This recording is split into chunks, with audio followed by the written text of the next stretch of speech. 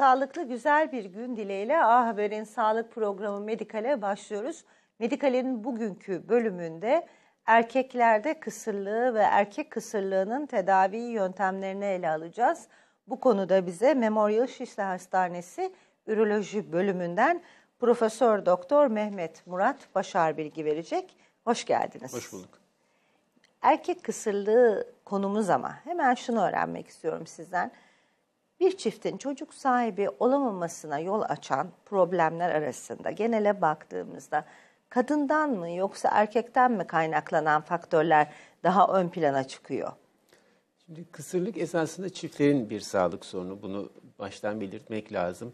Ee, neden olan faktörler değerlendirildiğinde kabaca üçte birinde etken kadında, üçte birinde etken erkekte, geri kalan üçte birinde ise hem kadın hem erkekte faktör ortaya çıkmakta. Dolayısıyla kısırlık nedenleri kabaca bir değerlendirmede %50 erkek, %50 kadın faktörü olarak rol oynamakta.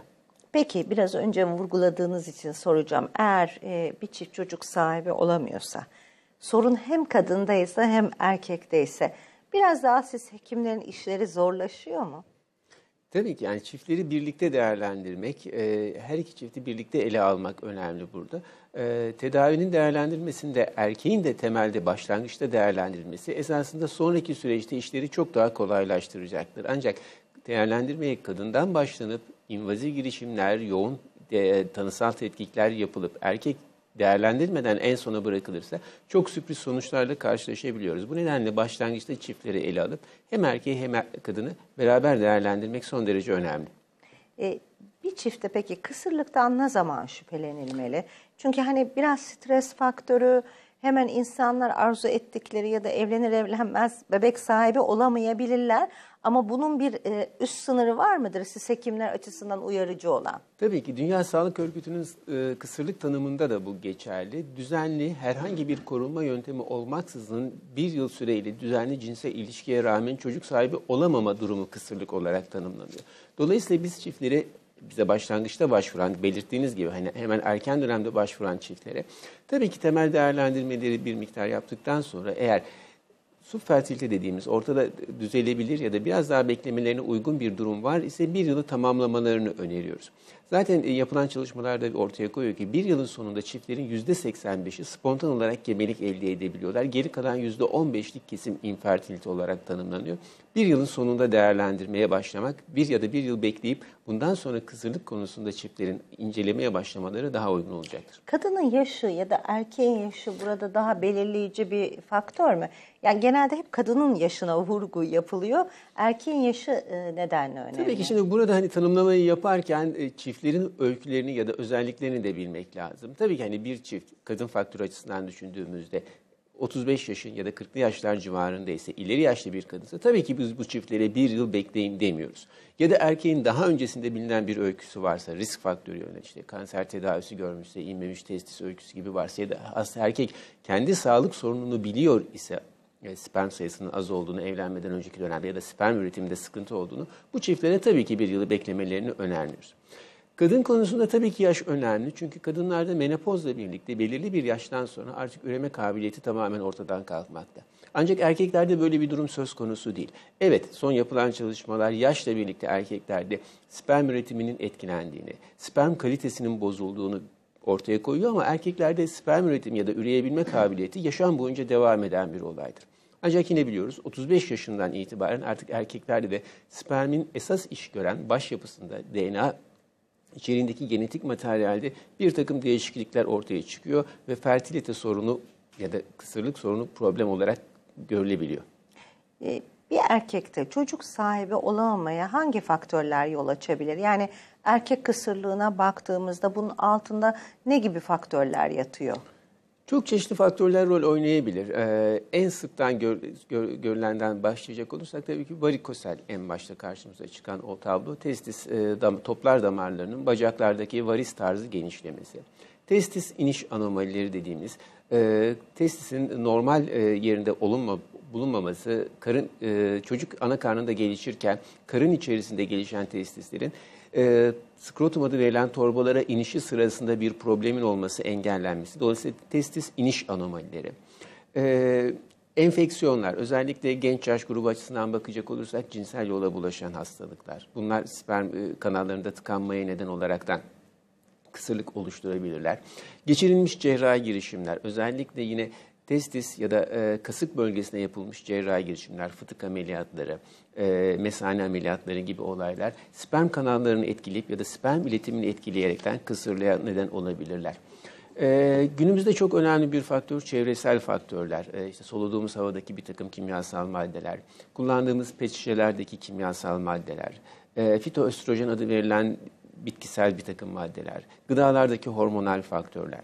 Ee, günlük yaşamın artık vazgeçilmez özelliği olan plazma LCD televizyonlar, bilgisayarlar, cep telefonları, bunların yaydıkları elektromanyetik dalga ve ısı etkileri, sigara kullanımı, e, yoğun alkol tüketimi, Bunlar da çevresel faktörler olarak yine kısırlığı etkilemekte.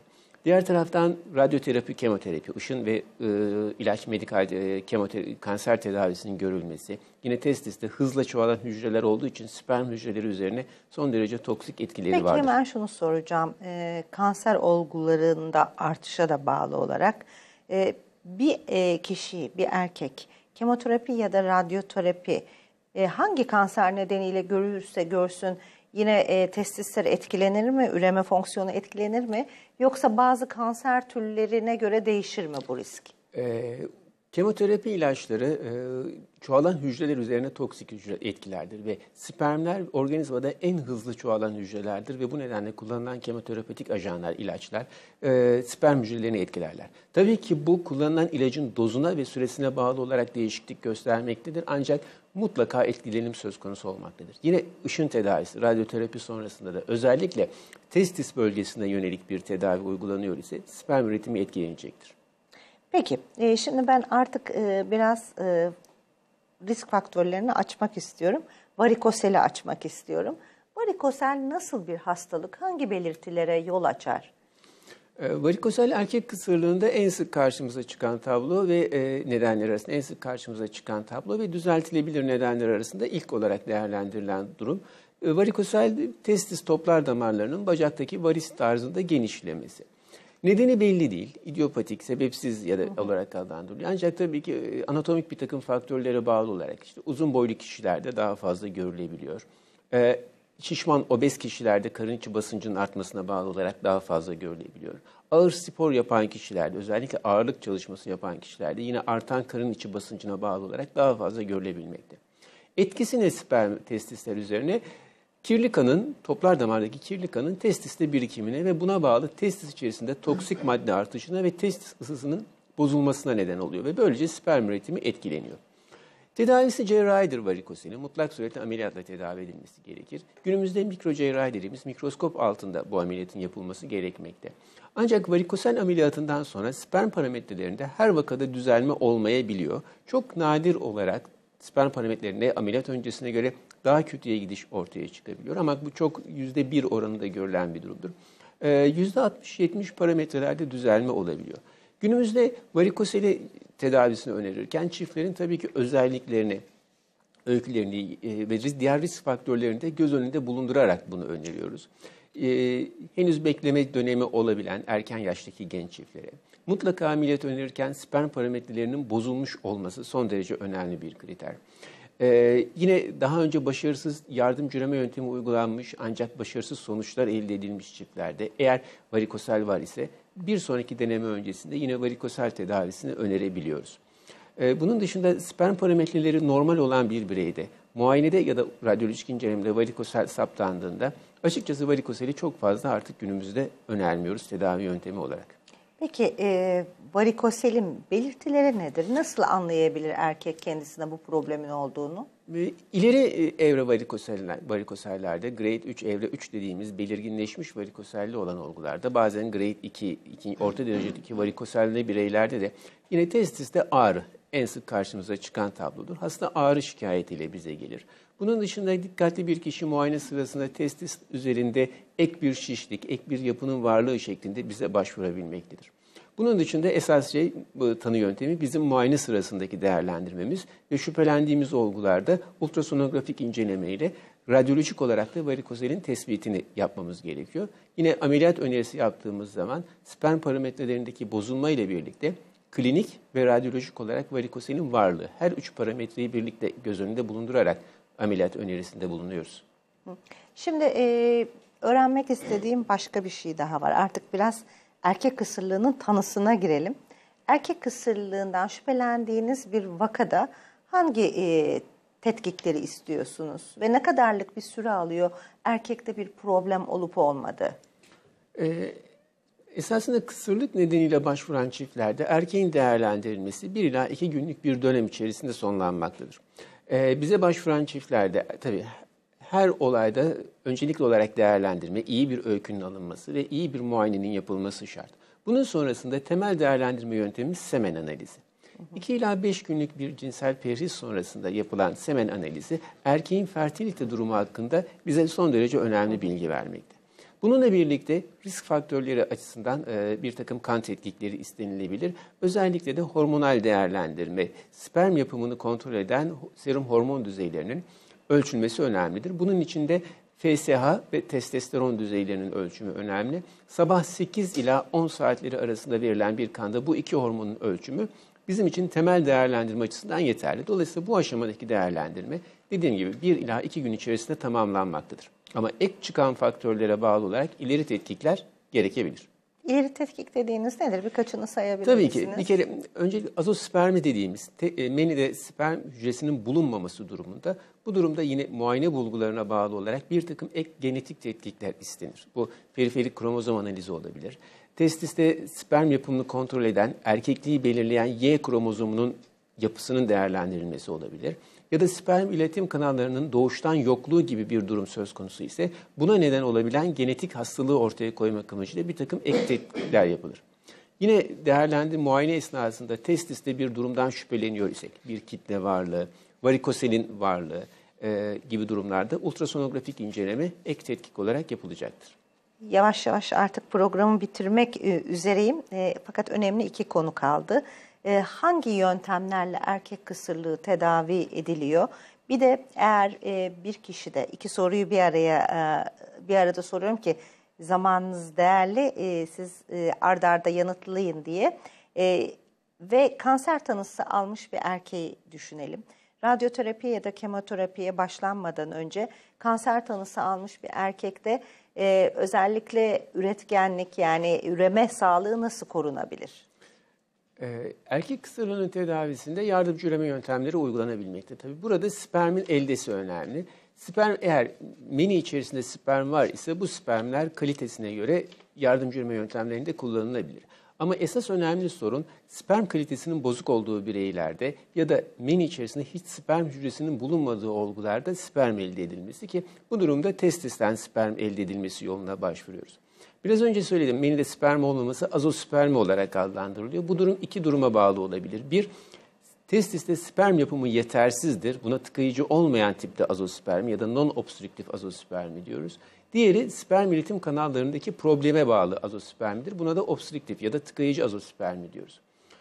Tıkayıcı olmayan tipte mikro cerrahi yöntemlerle mikroskop altında, genel anestezi altında, ameliyathane şartlarında testiste sperm üretim kanallarından sperm elde edilmesi işlemi uygulanmaktadır. Bu yöntemle %40 ila 60 oranında sperm elde edilebilmesi mümkündür. Tıkayıcı olan tiplerde ise işimiz daha kolay. Yine bunlarda lokal anestezi altında küçük bir iğneyle testise girerekten negatif basınçla aspirasyon dediğimiz yöntemle sperm elde edilebilir ki bunlarda da %100 oranında başarı mümkündür. Bunun dışında sperm analizi yapıldığında yine sperm canlılığının düşük olduğu, sperm hareketinin bozuk olduğu olgularda da testisten sperm elde edilme yöntemleri uygulanmaktadır. İkinci belirttiğiniz konu e, sperm korunması ya da fertilite korunması olarak adlandırılan durum aslında son derece önemli. Özellikle üreme çağındaki genç erkekler için son derece önemli bir konu. Herhangi bir nedenle kanser tanısı alan has bireyler, gençler, özellikle e, radyoterapi ya da kemoterapi alacaklar ise mutlaka bu işlemden önce sperm dondurma işleminin yapılması gerekmektedir. Tabii menide sperm olan olgularda bu kolay verdikleri örnekle sperm dondurulmakta. Ancak menide sperm olmayan olgularda yine cerrahi girişimde sperm aranması ve bulunursa bunların dondurulmasını mutlak suretle öneriyoruz. Peki e, ben e, size çok teşekkür ediyorum ama bizi izleyen e, kişilere özellikle çocuk sahibi olmak istemelerine karşın bir türlü bu amaçlarına ulaşamayan çiftlere neler söylemek istersiniz, önermek arzu edersiniz birkaç cümleyle. E, tabii ki erkek kısırlığının günümüzde artan bir risk faktörü. Er, pek çok faktör nedeniyle sıklıkla karşımıza çıkmakta. İnfertilitenin ya da kısırlığın tedavisi mümkündür. Yardımcı üreme yöntemleriyle çiftler çocuk sahibi olabilmekte. Erkeklerde menide sperm olmasa dahi cerrahi girişimlerle sperm elde edilebilmektedir. Bunun bir tedavi edilebilir durum olduğunu bilmeleri ve bu konuda ilgili uzmana başvurmalarını öneriyorum. Çok teşekkür ederim Medikal'e katıldığınız için. Sağ olun. Ben teşekkür ederim. Sevgili izleyiciler, bir Medikal'in daha sonuna geldik. Hem size hem de sevdiklerinize sağlık dolu güzel bir gün diliyoruz. Hoşçakalın.